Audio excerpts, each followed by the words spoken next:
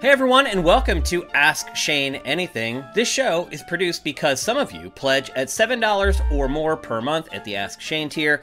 You're the folks who get to ask questions, but everybody gets to watch the archive. Now, I have something I want to mention at the beginning of Ask Shane Anything, and that is I would like to do this show once a week, at least. And you guys like the show, you guys watch the show. We, we actually do more views of Ask Shane Anything than we do for a lot of episodes of Pachter Factor. So I know you guys like the show. The problem is we can't get enough questions to do the show once per week. I don't know what the problem is. I don't know if you guys have just don't have the time.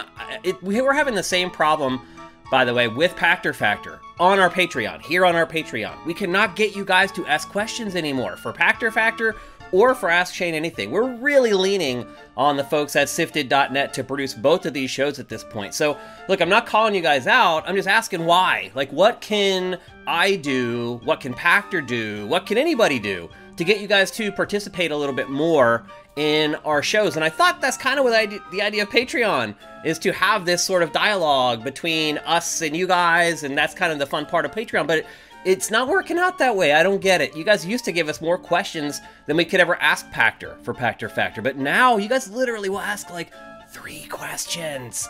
Three! Come on, guys, we can do better than this. So, look, Pachter Factor to me is more important. So if you're to pick and you're to say, okay, well, if I'm to ask questions, I'm to ask one or the other, choose Pachter Factor. Please ask questions there. That is a, a bedrock show of SIFTD. Uh, so if you're to choose, please pick Pachter Factor. But it would really be awesome if you guys could just ask questions for both. Um, I really like doing this show, and it seems like you guys like watching it, but we can't do it unless we get questions. Our first question for today's episode comes from AJ Watson. What are your thoughts on unionizing game studios? From your industry experience, what do you believe the pros and cons are?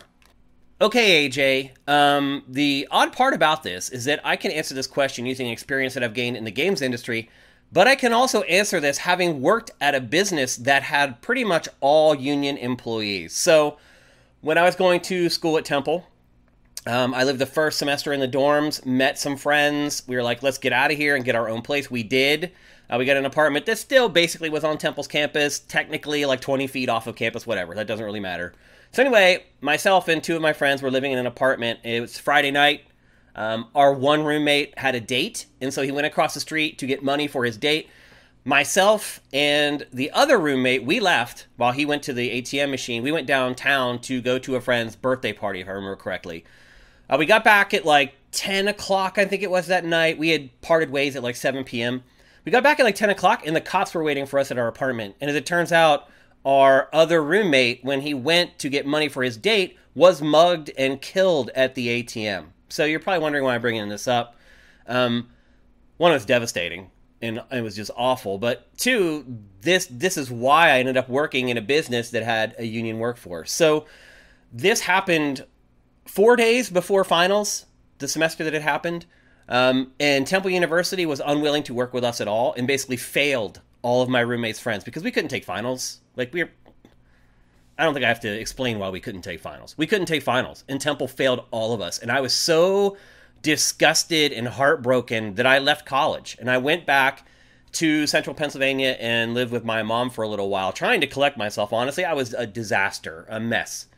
Um, and so while I was home, my mom was the head of HR at this manufacturing company called Masland, um, and they ended up be changing the name to Lear eventually. But basically, what they did was they made carpet for automobiles. Um, it was Masland, then it was Lear, and then eventually it, it, went out of business. But anyway, my mom was the head of HR, and so she got me a job. Nepotism, not denying it. She got me a job at her company, and I was working out in the mill. And the mill is like 115 degrees, and they have these gigantic kettles, and that's what they call them kettles, that are literally, literally like 40 feet long, 10 feet wide, and like 10 feet deep. And it was just full of like steaming water and dye that dyed the carpet. And so this whole factory was like 115 degrees and hum- humidity out the whatever. So I was there as like a temp. So I did not have to join the union, but everybody else that I worked with there was in the union. And my dad was a coal miner, so I had had some experience when I was younger with the union. My dad didn't have a great experience with the union. He felt like they kind of sold him out a little bit.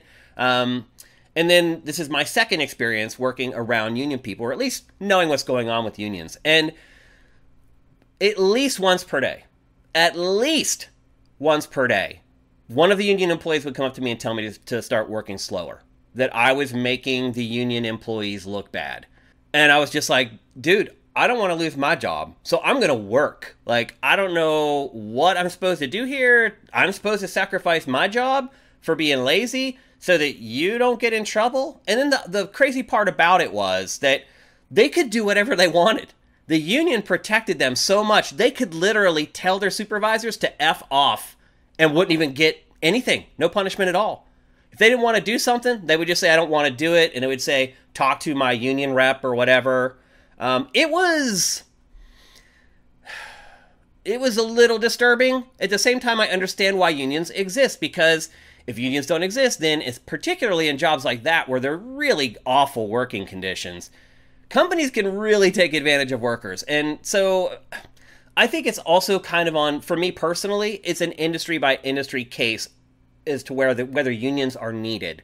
And generally, in my opinion, unions are needed in any position where the company, the supervisors, can essentially abuse the workforce. And you need the union to be able to step in there and make sure that that does not continue to happen. Now, game developers, eh, like if you were to if I could go back and go back into that carpet mill and talk to the union employees there and say, hey, 15, 20 years from now, more than that actually, there's going to be game developers who sit in air conditioned offices and work on computers all day, who are going to be disgruntled and are going to say they don't want. I think they would say, I'll stand up for my union brothers because that's just how unions are. But I think in the back of their mind, they would also say, oh my God, they wouldn't last a day at my job. So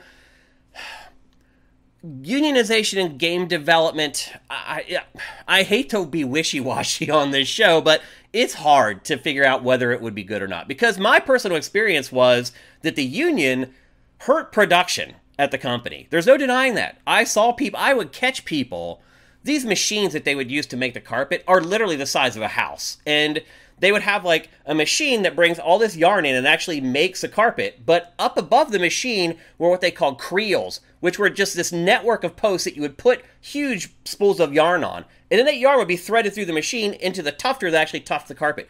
I would find them sleeping in the creels while their machines were running. Like, so for me personally, I saw how in a union workforce it could drastically hurt productivity.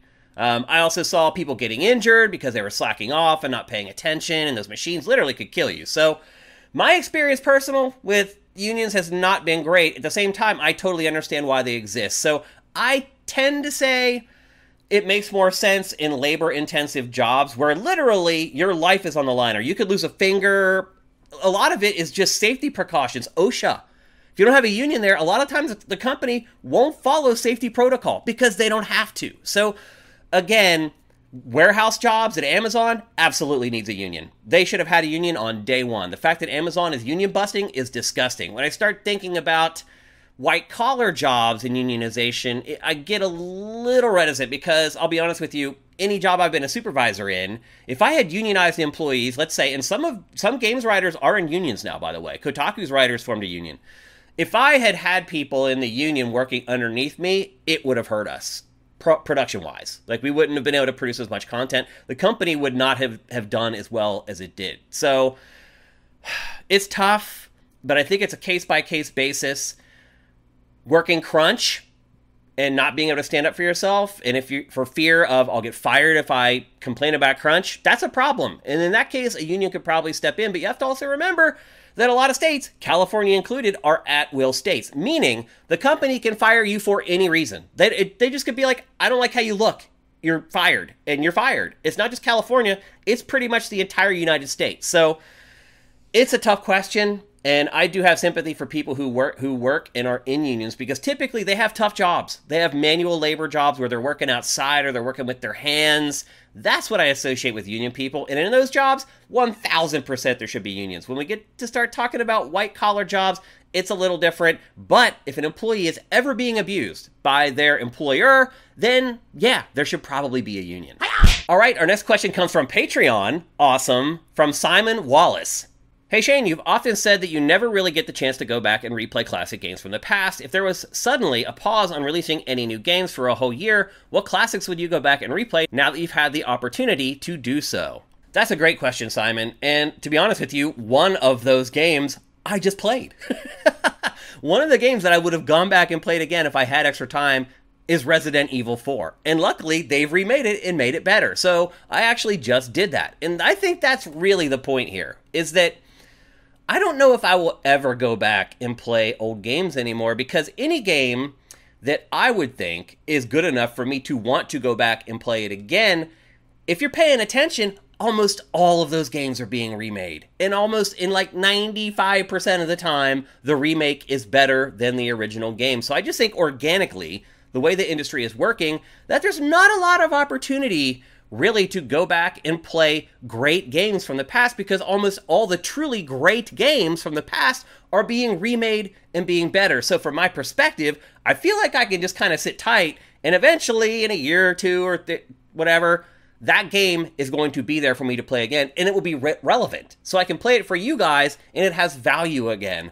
The reason I don't do it is because there's no value in it typically for me. Now, I'll say this I have been bouncing around the idea of going back and looking at my old reviews because I've been reviewing games since 1997. So I've thought of the idea of going back and looking at my reviews for games, classic games, and then playing them now and seeing if I was insane or if my reviews held up. Now, what spurred this idea on is that I gave Resident Evil 4 a perfect score at X-Play back when it came out in 20, 2005, and here we are all these years later and I played it again and I was like, hot damn, I was right. Now, I don't think I'm going to be right all the time. It might be an interesting new segment for you guys. So if that's something that you might be interested in, let me know in the comments below. Also, you guys never comment on Patreon. I have no idea why. You guys never leave a comment about anything unless there's something wrong, and I do appreciate that. But it's a little disheartening that the only time you ever get comments is when somebody complains about something. So, you could maybe pipe up a little bit more in the comments, that would be helpful. It would also help me to know what you guys like and what you don't like so that we can program content that you guys are going to enjoy. More feedback in general from you guys would be awesome. So, I don't think there's a lot of games that I would go back and play now unless I decided to do that new idea that I came up with. But I don't think generally there's a lot of games I would go back and play because I think inevitably in a year or two, they're probably all going to be remade. All right, our next question is also from Patreon, from Jerry Gonzalez. With the success of The Last of Us on HBO, what do you want to see turned into the next big sensation? Again, Jerry, this is kind of one of those things where it's happening organically. It is just happening. Because, let's be honest, Hollywood has kind of run out of ideas. I really feel like generally TV and film is just kind of starting to eat itself. It's like the cat chasing its tail at this point, and more than ever, and they've done this for a while, but more than ever, they are looking to video games for new for ideas for new TV shows and films. So it's all kind of happening. Like I would have said, The Witcher. There's already a great Witcher TV show. There's most of the properties that have interesting stories have either had a TV show or a movie made about them. And in fact, there's so many announced now that I can't even remember if the ones that I would pick have already been like greenlit and they're already in production. For example, Bioshock. Bioshock definitely would be an amazing TV show or film. Either one.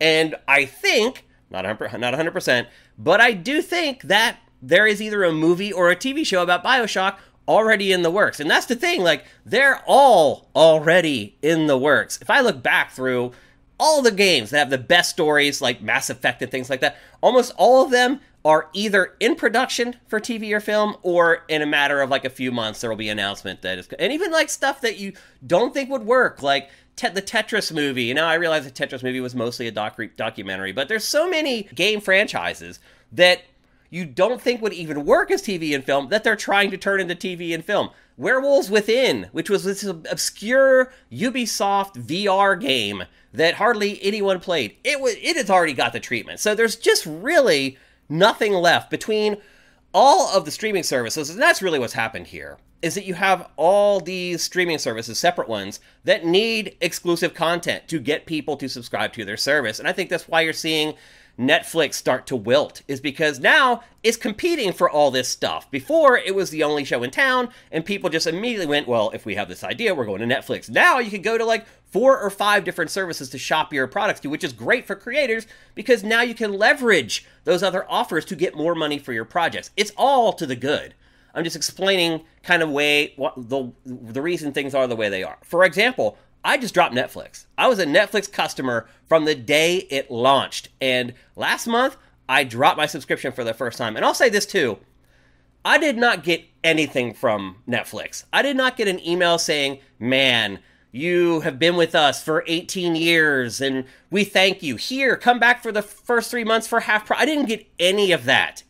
I, when any of you drop your subscription on our old subscription system on SIFTD, I send you a personal email. A personal email that I type by hand. It's not a form email, it's just me wanting to say thanks.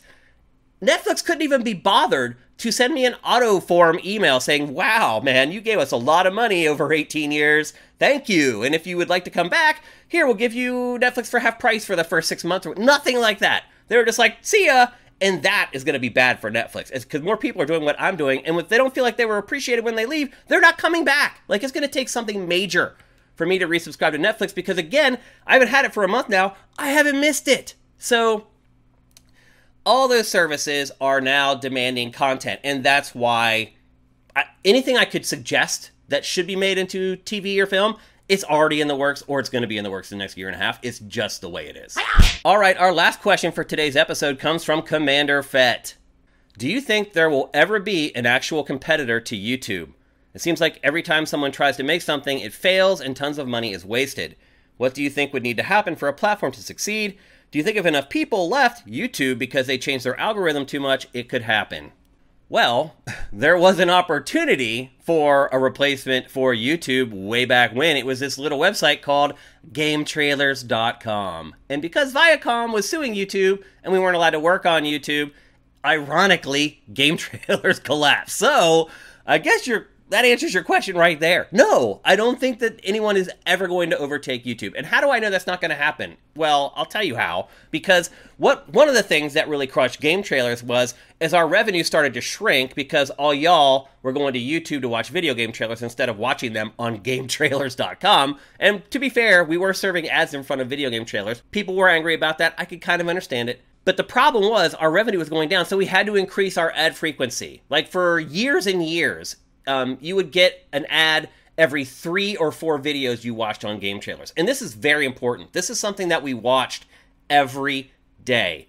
Our ad frequency, how is it affecting traffic? If we bump it up to like half videos, you get an ad, we could see the traffic go down. And so it was this very delicate balance we had to walk of ad frequency. Well, as our revenue went down and we became more desperate to stay alive, our ad frequency went to one to one, which basically means almost every video you watched, you had to watch a pre roll ad before it.